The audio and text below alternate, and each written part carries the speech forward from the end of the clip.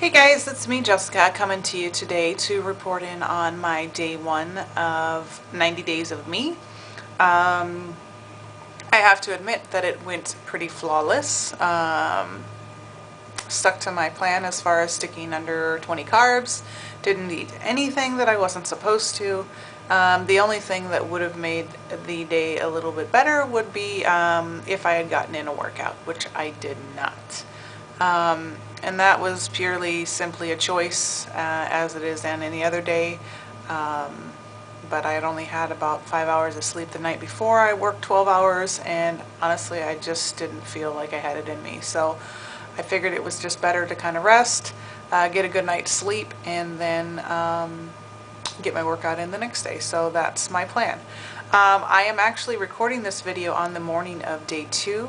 Uh, figured that might be easier to recant um, basically my day one. Either that or I have to do a video basically like right before I go to bed, which um, may not be the uh, best thing or might give me an excuse to be like, oh, I'm too tired, I don't want to make a video or, you know, whatever. So, um, so I already know what my weight loss results are from day one to day two, but I'm not going to share that yet, so you guys will have to wait till tomorrow.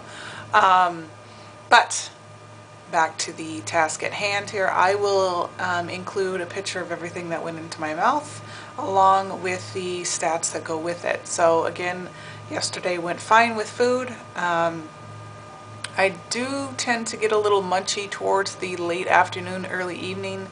Um, but I have to fight that off and I had a little uh, snack which I'll show. Um, and then towards the evening I was like, God, I just really want like a Reese's Pieces or something chocolatey or peanut buttery or something sweet, but um, I didn't have anything. So that's a good feeling, uh, you know, to have those kind of wants and then be able to kind of push through them and get past them. So Anyways, I'll make this short and sweet for today. I'm sure there'll be other days where I'll have much more to talk about. But day one, like I said, went off as planned and uh, pictures to follow. So I will see you all tomorrow. Talk to you later. Bye.